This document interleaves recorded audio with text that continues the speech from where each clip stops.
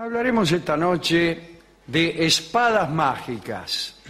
Atención. ¿eh? Una hipálaje es una figura retórica que consiste en transmitir a un objeto las virtudes de quien lo usa. Transferir sería una mejor palabra.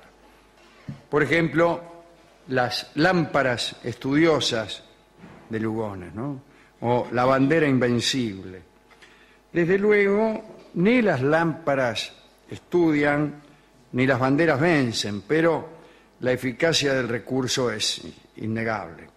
Algunos pueblos de la historia han creído en la, retórica de un modo literal y así llegaron a pensar que el valor de un hombre podía residir no en su espíritu, sino en su espada.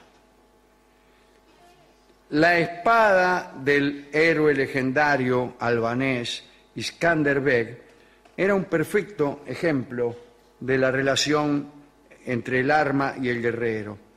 Cuando esta espada la blandía un soldado valeroso, se hacía automáticamente más afilada, más resistente y más letal.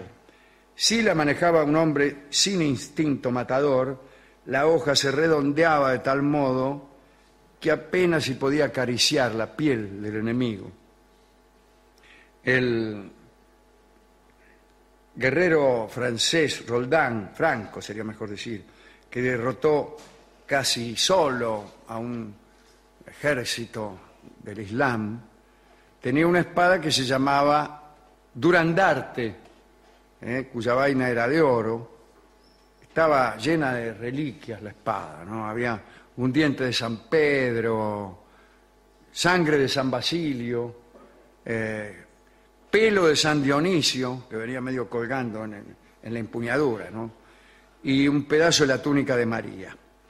Resplandecía de, de tal forma la Girondard que no era posible fijar la vista en ella. Su origen parece ser sobrenatural, naturalmente naturalmente sobrenatural.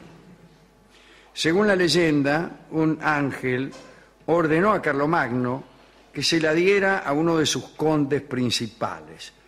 Carlomagno este, se la dio entonces a, Roldán, quien conquistó con ella cientos de, pueblos y de territorios. Era un arma tan bien templada que cuando eh, Roldán iba a morir, trató de partir la hoja golpeándola contra una roca para que nadie volviera a usarla, ¿no? Eh, y al final la escondió.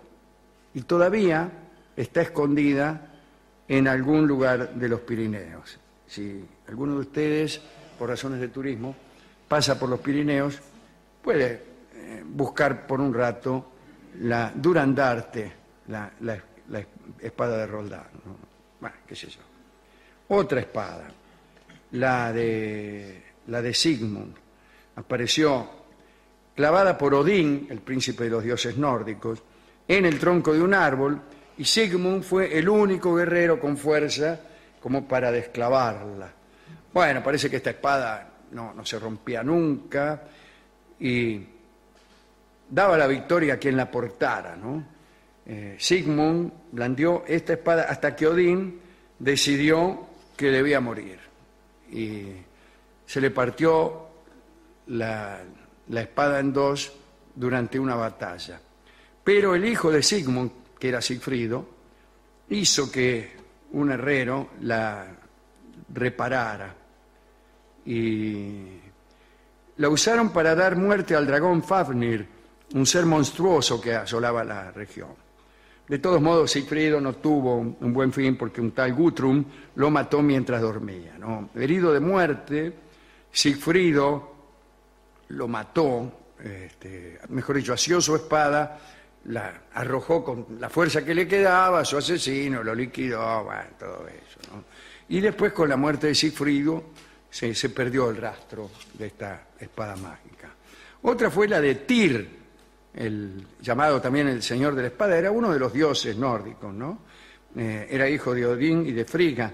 Había sido fabricada esta espada por los enanos, que ya se sabe que en los mitos nórdicos son el equivalente de Hefestos o de Vulcano en los mitos grecorromanos.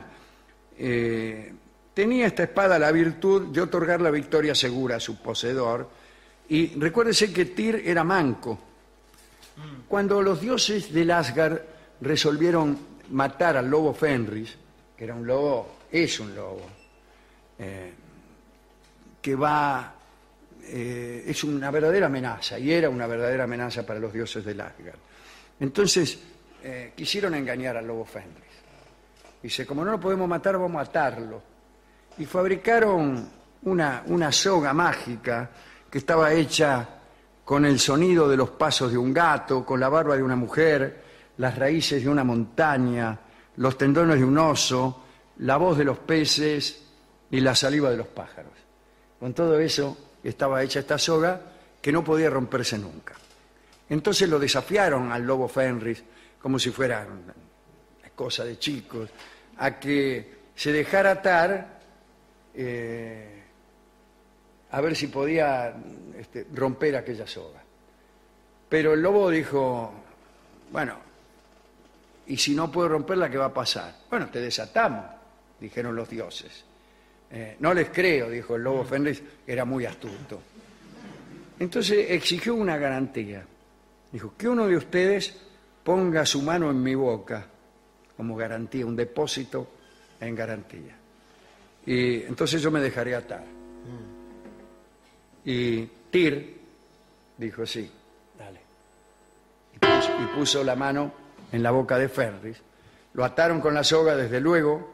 Fenris no pudo desatarse y los dioses no lo desataron y el lobo comió la mano de Tir aún manco y todo, pudo agarrar eh, esta espada y clavarla en, la boca del lobo, eh, poniéndola como si fuera un palo entre la quijada superior y la inferior, para que el lobo quedara así trabado. Y allí está el lobo, atado y con la boca con una estaca. El lobo igualmente participará de el ocaso de los dioses del día del Ragnarok y será, lógicamente, el, eh, el adalid de las fuerzas del mal. Bueno, ese era, ese era Tyr y esa era su espada. ¿no? Em, también se comerá, se dice, el día del, del Ragnarok, Fenris se comerá el sol y la luna. Nada de, de lo que digan estos tipos de cómo funciona el universo, vio a Morgan Freeman, todos esos tipos, de cómo va a terminar el universo, no, va a terminar del siguiente modo, el lobo Fenris se va a comer el sol y la luna. Y tenemos una lista de espadas con nombre, espadas famosas con nombre, ¿no? Por ejemplo, la Sulfícar, que es la espada de Hazrat Ali, que era, no era otro que el yerno de Mahoma, ¿no? En verdad se trata de una cimitarra que es uno de los símbolos más antiguos del, Islam. Con esta espada fueron vencidos los más temibles guerreros, fue utilizada en muchas batallas y se cree que el imán Mehdi, que es una especie de anticristo, eh, tiene esa espada y en su momento habrá de blandirla. Excalibur, todos ustedes la conocen, es la espada del rey Arturo, ¿no? aquella espada que estaba clavada en una piedra y que nadie podía desclavar y que solamente el rey legítimo, bla, bla, bla, etc. Hay una espada japonesa que se llama Kusanagi no Tsurugi, que es una espada tan importante para la historia del Japón como Excalibur para los mitos británicos. Este, tal vez el nombre este Kusanagi no Tsurugi signifique cortadora de pasto, pero no me parece. Aparece por primera vez como un regalo del emperador a Yamato Takeru, que fue el que descubrió los poderes de aquella espada. Eh, al final la espada se perdió en el mar, se perdió para siempre en el mar.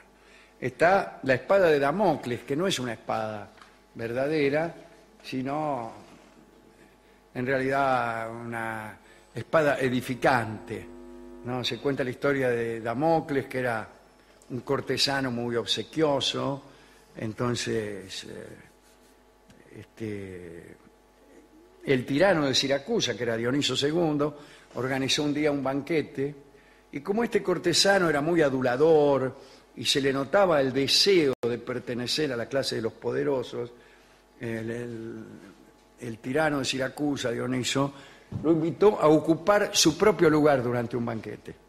Y ahí andaba Damocles, lo más contento en el lugar del emperador, morfando a cuatro manos, escabeando, qué sé yo. Hasta que miró hacia arriba y vio una espada que colgaba exactamente sobre su cabeza, con la punta amenazándolo, y que estaba pendiendo únicamente de un hilo muy finito, tan finito como un pelo. Entonces, esta es la metáfora acerca del etcétera. Quiere decir que la vida de los poderosos, etcétera, pende de un hilo, bla, bla, bla. Una espada persa, Shamsir esomorror negar. Shamsir esomorror negar. Parece que significa la espada con incrustaciones de esmeraldas, y si no significa eso, era una espada con incrustaciones de esmeraldas.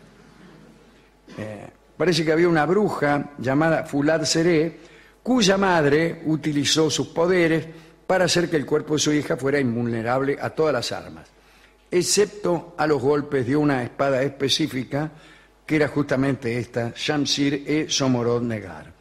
Perteneció eh, esta espada al rey Salomón, era un amuleto contra la magia, etcétera.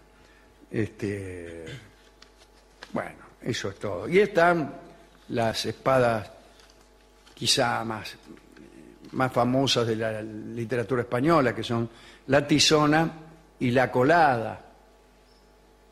Recuerda las espadas del Cid Campeador. Señor, señor, los infantes de Carrión han robado vuestra espada. ¿La tizona o la colada? La colada, mi señor. Qué mancada, era prestada, la pucha que los tiró. un, lindo verso ese, ¿no? Entre los piratas de la isla Tortuga se creía que algunas espadas poseían el don de asegurar el regreso de su poseedor cuando partía. Las mujeres que esperaban a sus hombres preparaban unos ungüentos volvedores que desparramaban por la hoja, por la empuñadura y a veces por su marido. Después esperaban confiadas que el hombre volviera. Es una linda historia, esta del ungüento volvedor. Ungüento que no solamente se aplica a los ausentes guerreros, sino a los ausentes en general. No estaría mal que ante cada partida nos ocupáramos de untar con esta pomada del regreso a nuestros amantes que se van, a veces por un tiempo y a veces para siempre. Se dice que el ungüento no falla nunca, salvo cuando el amante que se va deja de amarte. Entonces el ungüento no funciona. Se me preguntará, ¿para qué quiere uno un ungüento eh, si, si nos siguen amando? Eh, bueno, yo preguntaré, ¿para qué quiere que vuelva un amante que ya no nos quiere? Esta misma historia se la conté al discotecario y me dijo que a él no le importa si lo aman o no lo aman, Bueno, con tal señor. de que regresen. Lo que le importa es que las personas que él quiere están cerca de él y a su servicio. Mm, Eso es lo que me dijo el discotecario. sí, bueno. Y me dio un disco que es quizá la marca del ungüento, ¿Cómo se llama? Volver. Y lo escucharemos en la curiosa versión que a dúo de bandoneones han grabado Aníbal Troilo y Astor Piazzolla.